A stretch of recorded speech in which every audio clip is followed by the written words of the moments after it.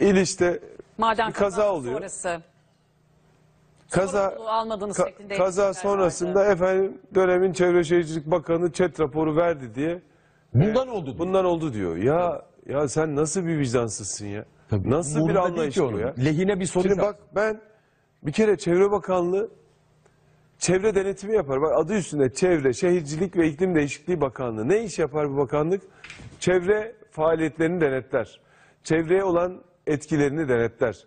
Çevreye olan bir etkisi var mı yok mu buna bakar. Şimdi Çevre Bakanlığı neyi verir? Bu işletmenin çevresel bir e, sorunu, problemi var mı yok mu buna bakar.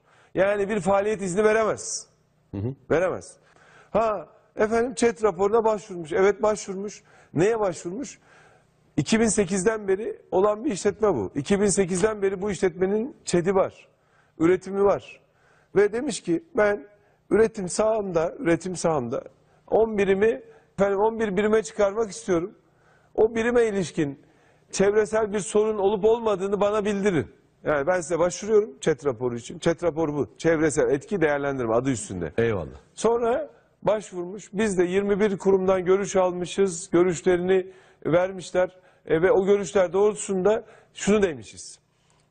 Bu işletme sahasının yani kapasite arttırımının çevresel açıdan bir problemi, sorunu yoktur. Şu tedbirleri aldığınız sürece çevresel Şu- olumsuz bir şartlarla. etkisi yoktur. Ha sonra ne olmuş? Biz faaliyet iznini yine veremeyiz. Sadece bu işleri yapabilmeniz için şu çevresel tedbirleri almanız gerekir. Tamam mı? Yani hani Tabii olu- olumsuz bir e, süreç işlememesi için. Sonra da ilgili bakanlığa başvurmuş, faaliyet izni almış. Faaliyet izni biz vermiyoruz. 2 yıl gibi, 3 yıl gibi, bazen 4 yıl gibi aralıklarla ya genişletme ya alandaki değişik proseslerin uygulanması ile ilgili de bir takım chat raporundaki yenilenmeler söz konusu olmuş.